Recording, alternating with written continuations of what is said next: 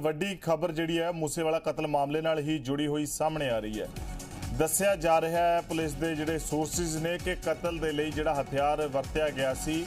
ਬੇਹੱਦ ਖਤਰਨਾਕ ਹਥਿਆਰ ਸੀ। ਬੁਲਟ ਪ੍ਰੂਫ ਗੱਡੀ ਨੂੰ ਵੀ ਚੀਰਨ ਦੀ ਉਹ ਸਮਰੱਥਾ ਰੱਖਣ ਵਾਲਾ ਹਥਿਆਰ ਸੀ। ਪੁਲਿਸ ਦੇ ਸੂਤਰਾਂ ਤੋਂ ਮਿਲੀ ਜਾਣਕਾਰੀ ਜਿਹੜੀ ਹੈ, ਉਹ ਦੱਸਦੀ ਹੈ ਕਿ ਕਤਲ ਕਰਨ ਵਾਲੇ ਇਹ ਤਰਨਤਾਰਨ ਤੇ ਅੰਮ੍ਰਿਤਸਰ ਦੇ ਰਹਿਣ ਵਾਲੇ ਸਨ।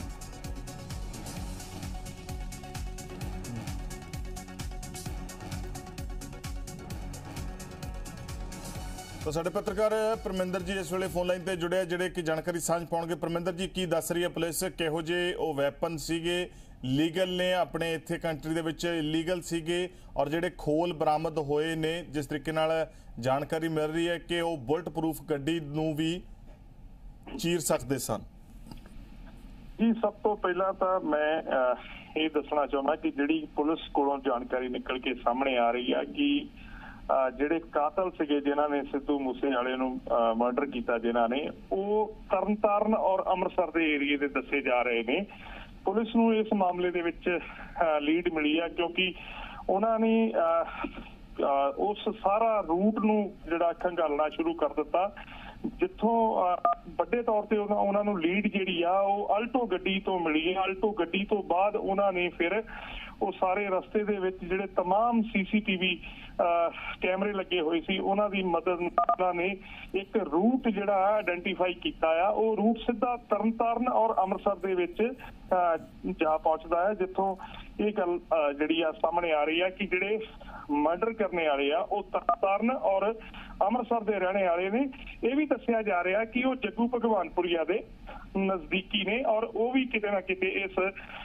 ਮਰਡਰ ਦੇ ਵਿੱਚ ਸ਼ਾਮਲ ਹੋਣ ਦਾ ਅੰਦਾਜ਼ਾ ਜਿਹੜਾ ਆ ਉਹ ਵੀ ਅਹ, ਜਿਹੜੀਆਂ ਸੁਰੱਖਿਆ ਏਜੰਸੀਆਂ ਨੇ ਜਿਹੜੀਆਂ ਪੰਜਾਬ ਪੁਲਿਸ ਇਸ ਮਾਮਲੇ ਦੀ ਜਿਹੜੀ ਜਾਂਚ ਕਰ ਰਹੀ ਹੈ ਫਿਲਹਾਲ ਜਿਹੜਾ ਪੰਜਾਬ ਦਾ ਇੰਟੈਲੀਜੈਂਸ ਵਿੰਗ ਜਿਹੜਾ ਇਸ ਮਾਮਲੇ ਦੀ ਜਾਂਚ ਕਰ ਰਿਹਾ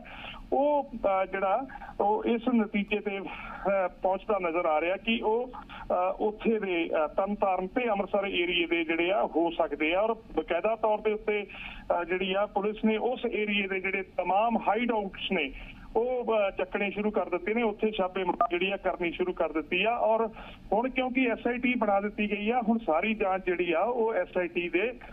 ਜਿਹੜੀ ਕਰੇਗੀ। ਦੂਸਰੀ ਗੱਲ ਅਹ, ਜਿਹੜਾ ਇਹਦੇ ਵਿੱਚ AN 94 ਜਿਹੜੀ ਇਸਤੇਮਾਲ ਕੀਤੀ ਗਈ ਵੈਪਨ, ਉਹਦੀ ਖਾਸੀਅਤ ਇਹ ਆ ਕਿ ਉਹਦੇ ਜਿਹੜਾ ਸ਼ੈਲ, ਜਿਹੜਾ ਕਾਰਤੂਸ ਦੇ ਵਿੱਚੋਂ ਨਿਕਲ ਕੇ ਜਾ ਜਿਹੜਾ ਸ਼ੈਲ ਵੱਜਦਾ ਆ, ਉਹਦੇ ਮੋਰੇ ਐਕਸਪਲੋਜ਼ਰ ਲੱਗਾ ਹੁੰਦਾ, ਉਹਦੇ ਮੋਰੇ ਛੋਟਾ ਬਰੂਦ ਲੱਗਾ ਹੁੰਦਾ, ਉਹ ਇਸ ਗੱਲ ਲਈ ਕਾਬਲ ਆ ਕਿ ਉਹ ਬੁਲਟ ਪ੍ਰੂਫ ਗੱਡੀ ਨੂੰ ਵੀ ਸੇਂਧ ਸਕਦਾ ਆ। ਬੁਲਟ ਬੁਲਟ ਪ੍ਰੂਫ ਗੱਡੀ ਦੇ ਵਿੱਚੋਂ ਸ਼ੀਸ਼ਿਆਂ ਨੂੰ ਪਾਰ ਕਰਕੇ ਕਿਉਂਕਿ ਉਹ ਜਦੋਂ ਟੱਚ ਹੁੰਦਾ ਹੈ, ਉੱਥੇ ਉਹ ਧਮਾਕਾ ਕਰਕੇ ਗੋਲੀ ਅੰਦਰ ਸਿੱਧੀ ਜਿਹੜੀ ਆ ਬੁਲਟ ਪ੍ਰੂਫ ਨੂੰ ਚੀਰਦੀ ਜਿਹੜੀ ਆ ਉਹ ਅੱਗੇ ਨਿਕਲ ਜਾਂਦੀ ਆ। ਕਿਉਂਕਿ ਇਹ ਸਾਰੀ ਤਿਆਰੀ ਇਸ ਗੱਲ ਕਰਕੇ ਕੀਤੀ ਗਈ ਸੀ ਕਿ ਜੇ ਸਿੱਧੂ ਮੂਸੇ ਵਾਲੇ ਨੇ ਬੁਲਟ ਪ੍ਰੂਫ ਗੱਡੀ ਲਈ ਆ ਤੇ ਉਹਦਾ ਇੰਤਜ਼ਾਮ ਦੇ ਤੌਰ ਦੇ ਉੱਤੇ ਉਹਨਾਂ ਨੇ ਇਹ ਜਿਹੜਾ ਹਥਿਆਰ ਜਿਹੜਾ ਇਸਤੇਮਾਲ ਕਰਨਾ ਸ਼ੁਰੂ ਕੀਤਾ ਆ ਔਰ ਬਕਾਇਦਾ ਤੌਰ ਤੇ ਇਹ ਵੀ ਗੱਲ ਸਾਹਮਣੇ ਆ ਰਹੀ ਕਿ ਇਹ ਸਾਰੇ ਜਿਹੜੇ ਹਥਿਆਰ। ਨੇ ਜਿਹੜੇ AN 94 ਜਿਹੜਾ ਹਥਿਆਰ ਹੈ ਇਹ ਪਾਕਿਸਤਾਨ ਤੋਂ ਜਿਹੜਾ ਆ ਉਹ ਇਹਨਾਂ ਨੂੰ ਇਹਨਾਂ ਨੇ ਹਾਸਲ ਕੀਤਾ ਔਰ ਉਹਦੇ ਲਈ ਗੋਲਡੀ ਬਰਾੜ ਦੀ ਜਿਹੜੀ ਆ ਜਿਹੜਾ ਕਹਿ ਰਹੇ ਨੇ ਕਿ ਅਮਰੀਕਾ ਜਾਂ ਕੈਨੇਡਾ ਦੇ ਵਿੱਚ ਹੋ ਸਕਦਾ ਉਹਦੀ ਭੂਮਿਕਾ ਜਿਹੜੀ ਆ ਉਹ ਸਾਹਮਣੇ ਜਿਹੜੀ ਆ ਰਹੀ ਆ।